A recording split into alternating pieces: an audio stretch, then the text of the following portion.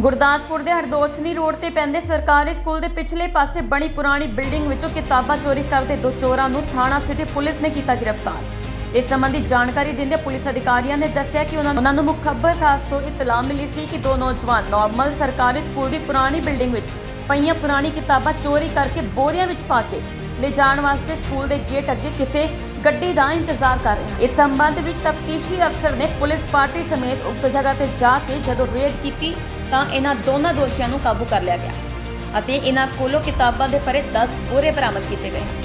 Police ਨੇ ਇਹਨਾਂ ਚੋਰਾਂ ਦੇ ਖਿਲਾਫ ਮਾਮਲਾ ਦਰਜ ਕਰਕੇ ਅਗਲੇਰੀ ਕਾਰਵਾਈ ਸ਼ੁਰੂ ਕਰ ਦਿੱਤੀ। ਹੈ ਗੁਰਦਾਸਪੁਰ ਤੋਂ ਰੋਹਿਤ ਗੁਪਤਾ ਦੀ ਰਿਪੋਰਟ ਲਾਈਵ ਭਾਰਤ ਹਾਂਜੀ ਇਹ ਹਰਦੂਸ਼ਨ ਰੋਡ ਤੇ ਇੱਕ ਨਾਰਮਲ ਸਕੂਲ ਹੈ ਉੱਥੇ ਆਪਣੇ ਪਿੱਛੇ ਡਾਈਟ ਸੈਂਟਰ ਅਹ, ਸਿੱਖਿਆ ਬੋਰਡ ਦਾ ਇਹਨਾਂ ਦਾ ਦਫ਼ਤਰ ਬਣਿਆ ਹੈ ਜਿੱਥੇ ਕਾਫੀ ਪੁਰਾਣੀਆਂ ਕਿਤਾਬਾਂ ਇਹਨਾਂ ਦੀਆਂ ਤੇ ਹੋਰ ਇਹਨਾਂ ਦੇ ਕਾਗਜ਼ਾਤ ਪਏ ਹੋਏ ਸੀ ਜਿੱਥੇ ਕੁਝ ਦੋ ਜਵਾਨ ਇਹਨਾਂ ਨੂੰ ਕੋਰੀਆ 'ਚ ਭਰ ਕੇ ਤੇ ਵੇਚਣ ਲਈ ਲੈ ਕੇ ਜਾ ਰਹੇ ਸਨ ਜਿਨ੍ਹਾਂ ਨੂੰ ਮੌਕੇ ਤੇ ਕਾਬੂ ਕੀਤਾ ਗਿਆ ਤੇ ਉਹਨਾਂ ਦੇ ਖਿਲਾਫ ਅਸੀਂ ਅਹ, ਮੁਕੱਦਮਾ ਦਰਜ ਕੀਤਾ ਗਿਆ। ਇੱਕ ਮੁੰਡੇ ਦਾ ਨਾਮ ਆ ਕਰਨ ਸਨ ਆਫ ਸੁਰਿੰਦਰ ਵਾਸੀ ਗੀਤਾ ਭਵਨ ਰੋਡ ਗੁਰਦਾਸਪੁਰ ਤੇ ਦੂਸਰੇ ਮੁੰਡੇ ਦਾ ਨਾਮ ਗੌਰਵ ਇਹ ਵੀ ਗੀਤਾ ਭਵਨ ਰੋਡ ਗੁਰਦਾਸਪੁਰ ਦਾ ਰਹਿਣ ਵਾਲਾ ਹੈ।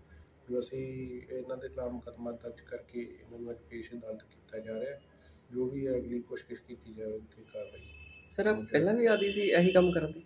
ਇਹ ਜੋ ਪੁੱਛਗਿੱਛ ਚੱਲ ਰਹੀ ਹੈ ਜੋ ਵੀ ਅਭੀ ਫਿਰ ਉਹ ਕਲੀਅਰ ਹੋ ਜਾਏਗਾ ਬਾਅਦ। ਸਰ ਕੀ ਕੀ ਮਾਮਲਾ ਦਰਜ ਕੀਤਾ ਗਿਆ ਇਹਨਾਂ ਦੇ ਖਿਲਾਫ ਚੋਰੀ ਦਾ ਮੁਕੱਦਮਾ ਦਰਜ ਕੀਤਾ ਗਿਆ 379 ਆਈਪੀਸੀ ਦੇ ਤਹਿਤ।